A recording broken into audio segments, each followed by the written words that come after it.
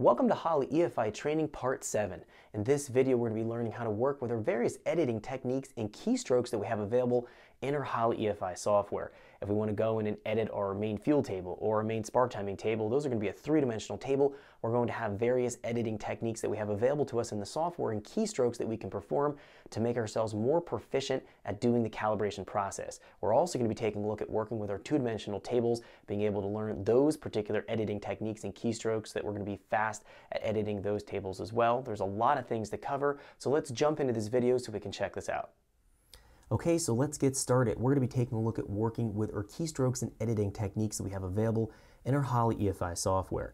Now, whether we're going to be working with our fuel table or our spark timing table, we're going to have different editing techniques we have available to us that are going to be more appropriate based on one table or another. Now, we also have what's known as a three-dimensional table here, we also have what's known as a two-dimensional table here. If we're looking at something like our cranking fuel, that's going to have different techniques applied to different tables. So we need to learn the different variations in our editing techniques and our editing keystrokes here we have available to us so we can apply them appropriately based on the table that we're working with. Now we're not going to learn how to actually tune the main fuel table or the spark timing table here in this video. We're just going to be covering the editing techniques to move the values within the table to do what we'd like. So let's jump in here to our three-dimensional fuel table here, our three-dimensional main table, we can see it's based on map pressure and engine RPM. So if we plot the values within the table here graphically, we're going to see it's going to produce a three-dimensional style format. If we jump into our two-dimensional table here, jumping back into this cranking fuel, if we take a look, we have a singular row of values. If we plot that graphically, that's going to be what's known as a two-dimensional table. So that's where they get their names from. So what we're going to be working with here in a three-dimensional table is going to be slightly different in the editing techniques that we have available than in the two-dimensional table. So jumping back in here to this three-dimensional table, let's talk about our keystrokes first that we have available to work with in the software. There's limited keystrokes in the Holley software compared to other tuning softwares. It makes things very, very simple, but we need to learn them just the same.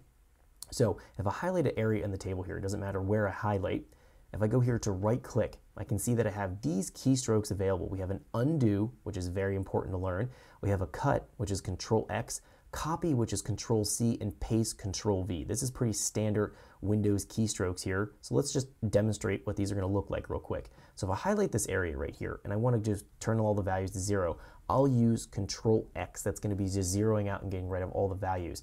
Now, that's something we probably don't want to do in our main fuel table. And in fact, I don't really use that keystroke ever within the Holley software, but it is there.